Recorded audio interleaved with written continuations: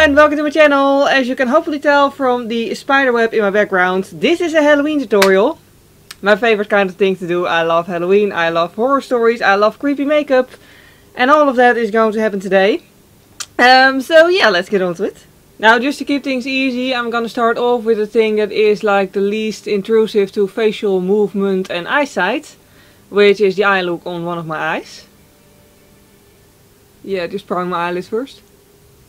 Now I'm starting off with just a sort of cool tone taupe shade in my crease with a fluffy blender. Uh, the whole idea is I want the eye to look, you know, made up and all. But in a ghostly way. So I don't want nice, warm, lively tones. No, I want cool and dead tones basically. Now I'm just using a slightly angled brush and a black eyeshadow to blend darkness into the outer corner. Um, basically you can do whatever you want of course, but this is just going to be something that's there to sell the entire idea of a, you know, ghost that actually when she was alive did try to look fancy. But I don't, for like for a horror look, I don't want to bother spending like 12,000 hours on perfect eyeliner and a cut crease. So I'm not gonna, like you can totally do that if that's, you know, what you want, but I'm just not gonna bother. I'm just gonna keep it nice and easy. And then on the rest of the eyelid I'm just applying a greyish shimmery shade. And then just some smudgy black eye pencil in my inner corner. Seriously, birds stop tweeting so happily, like it doesn't suit the mood here. Anyway, um, yeah, and just gonna apply it on my waterline too once I'm done with this.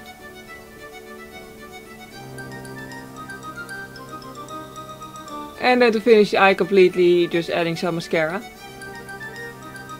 And then just to, um, you know, have most of the beauty stuff done already. I'm just gonna do my eyebrows next real quick. And um, then it's time to head on to the fun stuff. So, in recap, just, you know, go for a look that you would do if you were, for example, to go to a concert, like after work, and just quickly want to do some nice makeup. But only on one eye and slightly more messy than you would prefer. Now, the fun part. Uh, we're gonna start off with something decidedly not fun. Scar wax. Whoops. Nothing, nothing is easy about scar wax. Scar wax is just, it, it looks disgusting, it feels disgusting, it's impossible to work with.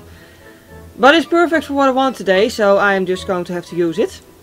So, plan, the plan is basically to use latex and make a line on my face then um, create a roll of scar wax and put it on top of it. Smooth it out on the top. Then do the same thing but smooth it out on the bottom. So I get sort of a gash here. Only on one side. Yep, let's go for it.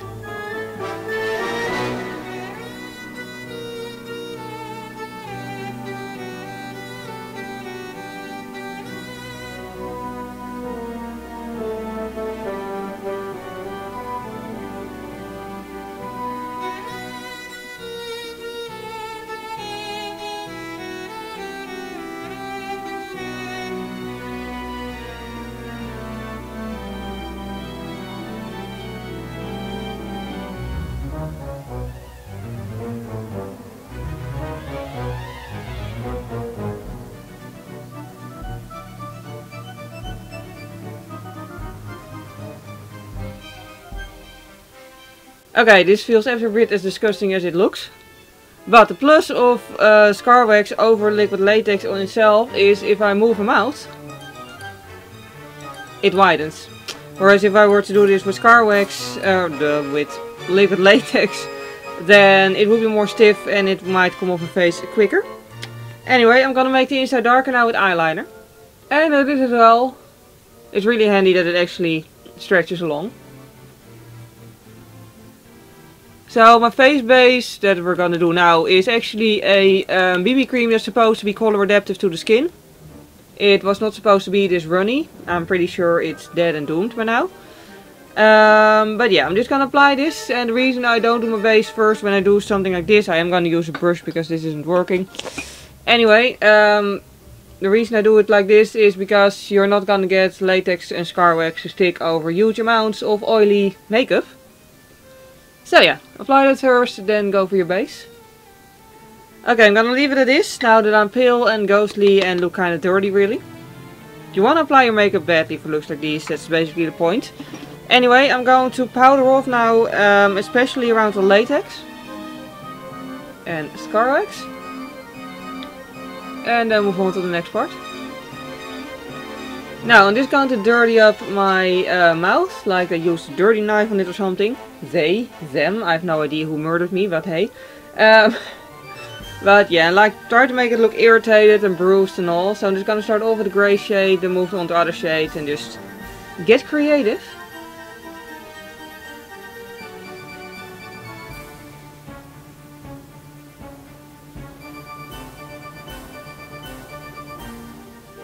And while we're at it, I'm just going to add another bruise up here. And then lastly, my favorite method of, you know, hiding some teeny tiny beauty mistakes. Fake blood. This will also make sure that the inside of the gash will be a little bit shiny, which, you know, is more realistic for a gash. And it's also going to sort of help hide the rather unrealistic to my skin color of the scar wax.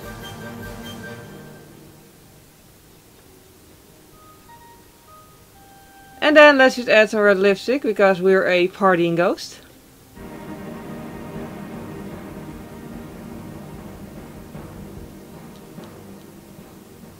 I'm just gonna assume that if someone actually does cut your mouth open, which is not a good thing, but you know, like they're probably not gonna bother being very careful with your lipstick, so smudge it a little. Then the next step, um, I'm going to use this piece of fabric, which is see-through to the human eye, less so to a camera lens, but anyways. I'm gonna cut it in an eye shape, glue it over my eye, put latex around it and make it look as if my eyeball has been gouged out. I have such lovely ideas sometimes. And keep in mind, it does not need to be a perfect fit, but you do want it to be fitted enough that you're not getting liquid latex all in your actual eyeball.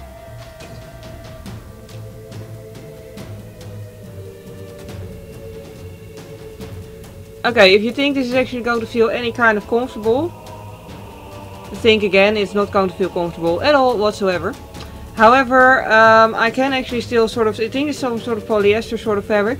Uh, but I can still sort of see, like I can't see sharp through it, but if I look at both eyes I can still, you know, judge distances. I could not drive a car safely probably, but like I can still walk stairs. So that's good. Anyway, um, yeah, I'm just going to um, use tissue paper now to create a fake eyelid. I've just, um, yeah, there's like one layer of tissue paper now, just ripped it apart. And now I'm just gonna build the eyelid around the hole. This is gonna be so much fun.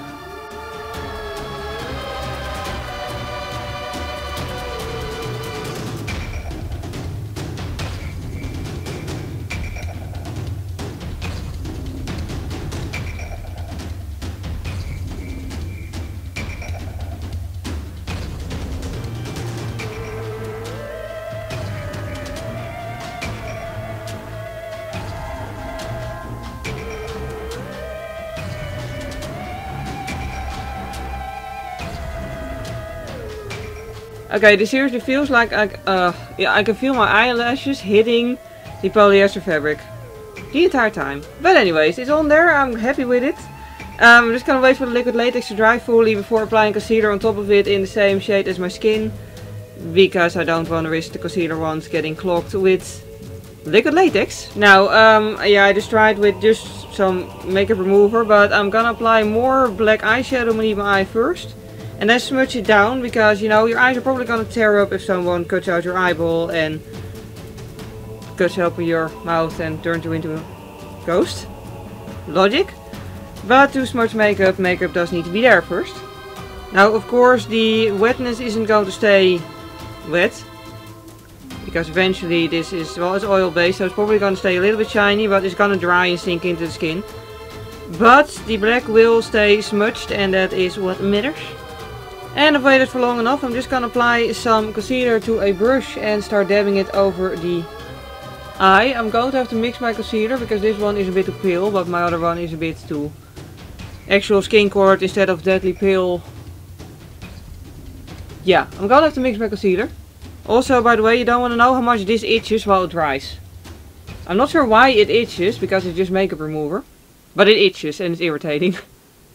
And then it's time to here also apply the bruises, fake. And blood. Fake.